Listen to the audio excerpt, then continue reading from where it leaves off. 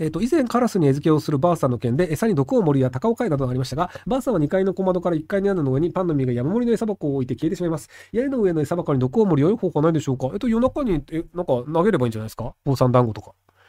あの、ブレイキングバットっていうドラマで、あの、ピザを屋根の上に投げるシーンがあるんですけど、あれ一発撮りで成功したんですよね。正確に言うと、その、ピザを投げ捨てるっていうシーンで、ホイって投げたら、たまたまうまく屋根の上に乗っちゃったから、あ、じゃあもうこれで一発 OK っていうので、その屋根の上にピザが乗るっていうシーンだったんですけど、そんな感じであの屋根の上にあの食い物を乗せるっていうのがあるんで、それ、あの、よろしかったら見てください。はい